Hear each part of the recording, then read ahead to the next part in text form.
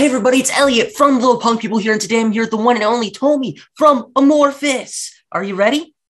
Yes, I'm ready. Let's do this. Congrats on your album entering the Finnish album charts at number one and the German album charts at number three. How does that feel? It must feel great, right? Yeah, of course. It always feels great. And uh, I think in Finland it has been number one few times already, but in Germany, I think this is best uh, ever. But at the same time, it's not like our goals to these chart entries. Of course, naturally, it's more important what fans are liking and stuff like that. But can you have to admit it feels good, of course. Yeah, well, as a fan, I love it. Great. Are you excited for your North America tour that starts on April 13th in New York City? Yes, it's been like two weeks. Two weeks. I wish it was two weeks. Two years without like any touring, just a few gigs there and there. And last year, I think we did nine shows, uh, mostly festivals here in Finland, and they felt very good to have at least something. But uh, this this is like uh, what we have been waiting for two years. So uh, yeah, yeah, I cannot wait more. I love your song Windmane, and the guitars remind me of classic metal like Ozzy Osbourne's Bark at the Moon towards the end. What is this song about? Uh, I think it's Esa, wrote the song, and uh, about the lyrics, I'm not the best to answer that because we are, uh, have like outsider lyricist who's making the lyrics, and uh, he, he doesn't open it too much to us even. So uh, it's from his own head, and but uh, we have find like nice symbiosis with him and co cooperating with him. So uh, uh, Windmane. So, uh, so far, I know that it's from the perspective of a horse.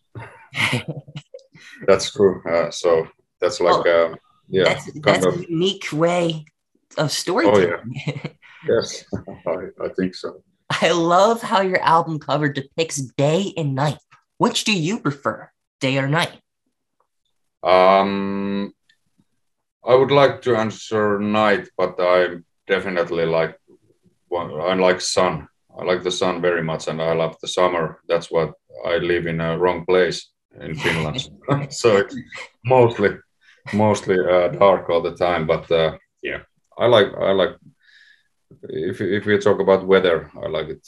It's more sunny than not sunny, but uh, yeah, I I think I'm more like dark on my mind I, I mean uh, I'm, I'm not like the happiest person. So in that way dark is well that's whether what the cover is all about and the album is all about uh, like two different opposite things. Yeah i understand. I i love the sun but i also love the darkness too. Do you yeah. feel like your music has a deep connection with nature? I noticed that connection in your songs and music videos Mm. Yes, definitely. I think nature has been always like very big influence to us. Like uh, it's, I think a lot, lot of like when we're composing new stuff, it might happen in like some cabin or like in forest.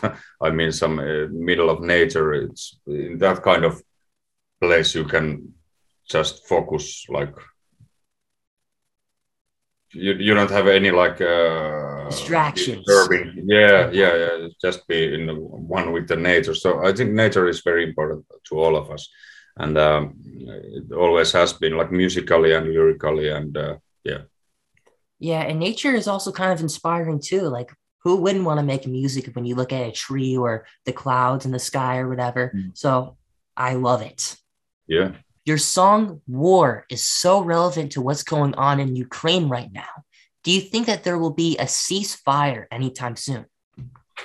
Well, I hope so. I hope so. This madness, it's totally, totally madman's work, this thing. And I feel bad for Ukrainians, of course, and I feel bad for uh, those Russians who don't support this. And uh, it's, I feel, feel like it's uh, one madman's work. And uh, of course, as a Finnish, we have a long uh, border with Russia and we have a history with Russia.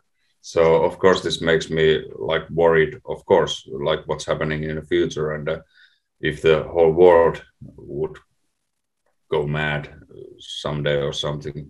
So it feels like that, but I hope this ends like very soon because this is uh, I, I cannot even I don't know I don't find the words to describe, but it's it's a depressing thing. Yeah, it's absolute craziness. Do you think that evil exists in this world in human form? Oh uh, yes, I that's pretty pretty sure that it's like that way. Yeah. I don't see any other evilness in this world than a human. mm, exactly. If you could have your music appear on any movie or TV show soundtrack, what show or film would you pick? Hmm, that was not the easy one. Uh, um, well, first, what came to my mind it was it's breaking the waves movie which doesn't have any music or any sound effects, I guess, except one. so I will pick that one because then you have like a like kind of like empty place to put music from your head. Yes, that's a that's a great answer. For me, whenever I listen to your music, I can think of maybe even Game of Thrones with the dragons and stuff, the epicness, the beautiful melodies. I can totally picture that. Yeah, I can imagine that as well. What song off of Halo are you looking forward to playing live the most on this tour? Oh, that's tough one. Uh, normally, when you start to play with new songs, it it takes like ten shows, and then you have like some. Uh, then you start to like know how to play it live, and uh, then also same time you start to find the songs you like to play live and not that much. But uh, I would say Northwards, the opening opening song. I think I wait for that, and uh, because I already know that that probably will be the first song after the intro, so uh, I wait for the feeling when finally get to the states and uh, that song when it starts. Yes. yes. Do you think there are better planets in the universe that we don't know about? Would you rather live there if you could? Uh, I guess if there were humans, it would be in the end the same. same. I love Earth as a ball, and I, I don't want to destroy it. And uh, I hope, yeah, it's. I don't know. I'm, I'm sure there is some like same kind of planet somewhere, but it's so far away that we will never find it. But interesting question, anyway. But uh, I would like to save this ball first. I agree with that one. What was it like growing up as a metalhead in Finland? Um, when I was like kid, uh, that was 80s, and there wasn't too much like uh, of like metalheads. I, I remember I was one of the only ones in the school who had like long hair and uh, uh, Iron Maiden shirts and you know this heavy thing. It wasn't like a very trendy thing, but at the same time, at that way you find like your own own things. Like when you went to some concerts, you meet people from different uh, cities and different places. So so I think to me it was like uh, totally like open to new world to me, and I didn't have to stress about the suburb where I was grown up, uh, which wasn't like the happiest time of my life but i find my like own path from the like a music scene and uh, people from people who are were thinking same way as than uh, i was so uh, i think yeah it was kind of kind of small the metal thing but uh, it, it has become like very popular now in finland especially it's like uh, very popular all the metal bands so it's totally different than when I was a kid. So nice. Well, I I can relate to that because growing up in middle school and elementary school, I was the only metalhead in the entire school. Mm-hmm. But then as time went on, maybe there'll be one kid that liked metal, and then we just grew with that friendship. So definitely a unique. It's like this almost this special little club, you know. Yeah, yeah, yeah. Of course. Yeah, I remember to pick like uh somebody have a more Angels t-shirt and long uh, we could be friends. So Respect. like that. Yeah, yeah. What are your top five favorite bands of all time? Top five. Okay. Um, Pink Floyd. Um, ABBA. Uh, that was my like, childhood music from the parents. Um, Iron Maiden, Yes. I would say Iron Maiden there. Slayer, and Jethro Tull, That was what I was listening a lot when I was like certain age. Well, I can't argue with those picks. That is some great music. Thank you. if you could eliminate one bad thing in this world, what would that be? Um, greediness. That's a good one. That is a really, really good one. Do you believe there's an afterlife? And what do you hope it will be? Um,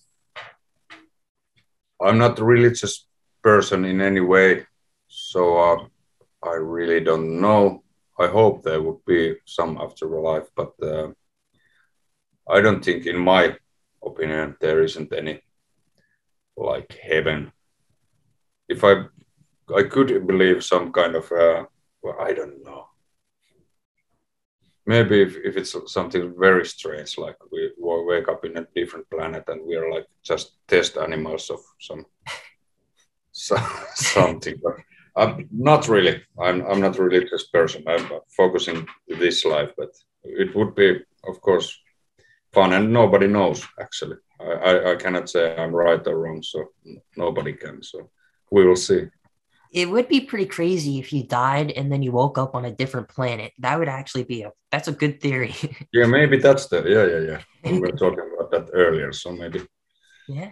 that's the port to go there. I don't know.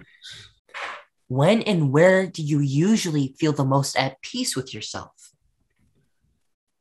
Um, well, that would be in like countryside, like just like in the middle of nature and uh, don't very like silent, just just like singing of birds and uh, coming up from sauna and swimming in a lake and then just relaxing. That's that's my mental place, mental place.